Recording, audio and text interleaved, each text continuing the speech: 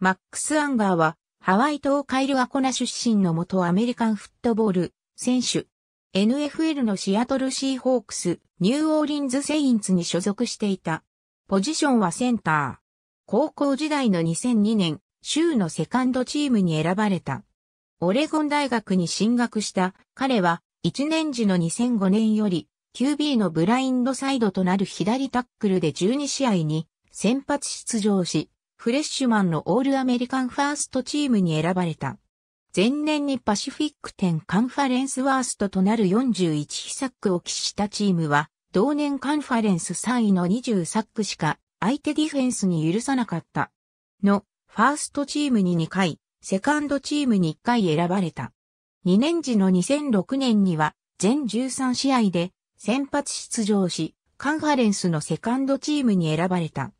3年時の2007年には左タックルからセンターにコンバートされて13試合で先発出場し、カンファレンスのファーストチームに選ばれるとともに、スポーツイラストレーテッドからオールアメリカンファーストチームに選ばれた。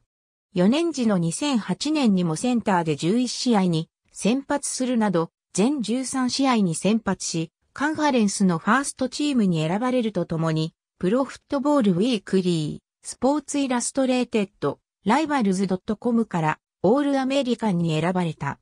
2009年のアンガー2009年の NFL ドラフトを前にその年のガード中、ナンバーワンのプロスペクトと期待された。彼は1972年のドラフトでは、オレゴン大学の選手として、トム・ドラウガスが指名されて、以来の高い指名順位となるドラフト2巡全体49位で、シアトルシーホークスに指名された。7月29日、4年300万ドル以上の契約を結んだ。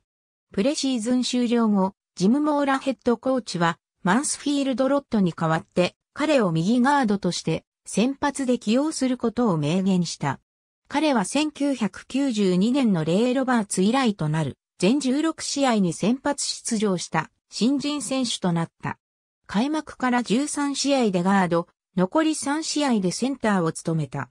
2010年9月12日のサンフランシスコ、フォーティナイナーズ戦で右ガードとして先発したが、その試合でシーズン絶望となる重傷を負い、9月14日に故障者リスト入りした。2011年15試合で先発出場した。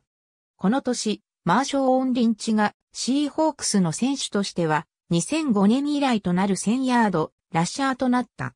2012年、NFL のセンターのトップ5に入る4年間最大2400万ドルで契約延長を果たした。この年 AP 通信によりオールプロファーストチームに選ばれた。